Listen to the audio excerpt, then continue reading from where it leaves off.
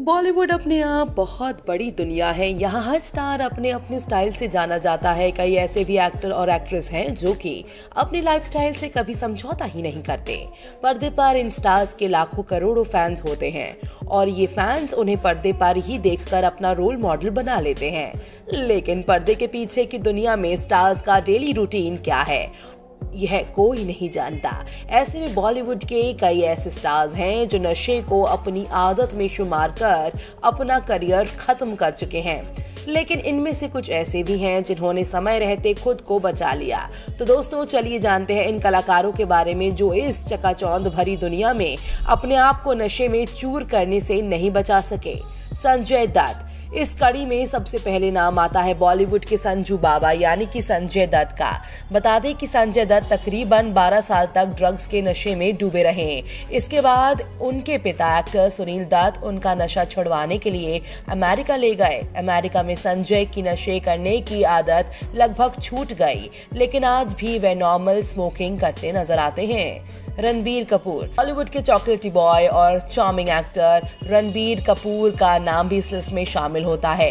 रणबीर कपूर को शूटिंग के दौरान स्मोक करते अक्सर देखा जाता है। यहाँ तक कि उन्होंने खुद ये बताया कि वे एक्टिंग स्कूल में पढ़ने के दौरान से ही स्मोकिंग कर रही हैं। स्मोकिंग तो नॉर्मल सी बात है, लेकिन एक्टर को ड्रग्स लेने की आदत पड़ गई थी। जिस वजह से उन्हें फ़िल्मों में काम मिलना बंद हो गया था, जिसके बाद इन्होंने अपने आप पर कंट्रोल किया और ड्रग्स की बुरी लत को छोड़ दिया। हनी सिंह, एक समय था जब बच्चे बच्चे की जुबा पर यो यो हनी सिंह रटा हुआ था, लेकिन अब ये नाम गुमनामी के अंधेरे में कहीं खोसा गया है। एक एक करोड़ों लोगों को अपना फैंस बनाने वाले हनी सिंह नशे की हालत में खुद को भूल बैठे हैं, लेकिन अब धीरे धीरे उनकी हालत में सुधार देखा जा सकता है। महेश भट्ट।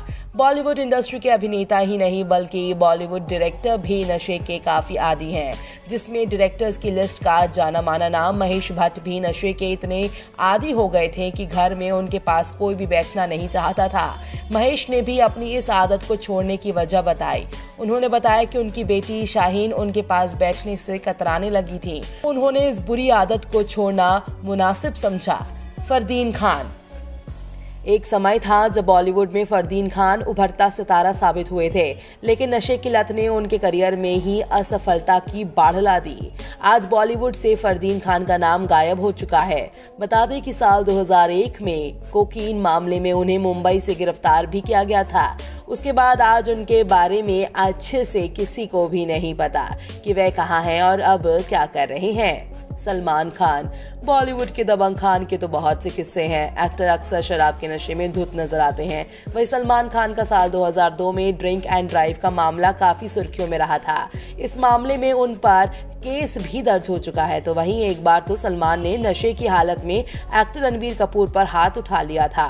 उस वक्त रणबीर कपूर फ़िल्मों में नहीं आए थे, इतना ही नहीं, बल्कि सलमान खान के और भी कई किस्से हैं। शराब के नशे में ऐश्वर्या राय के घर जाना, उन्हें परेशान करना, हिंसक हो जाना, इस तरह के नज़ारे और भी कितने किस्से हैं जो मशहूर हैं। तो दोस्तों, आपको क्या लगता है, बॉलीवुड इंडस्ट्री की चकाचौंध में सभी सितारे आज नशे के आदि हैं या नहीं? हमें अपनी राय कमेंट करके ज़रूर बताएँ। साथ ही बॉलीवुड इंडस्ट्री की चटपटी और मसालेदार खबरों को जानने के लिए चैनल को सब्सक्राइब करना ना भूलें।